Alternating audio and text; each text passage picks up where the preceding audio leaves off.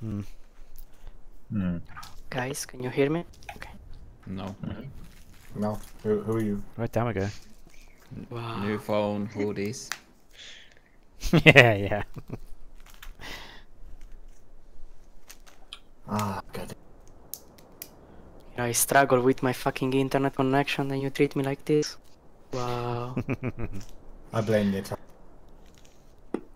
I blame what? the Italians. All of all of them. Wow. that is true.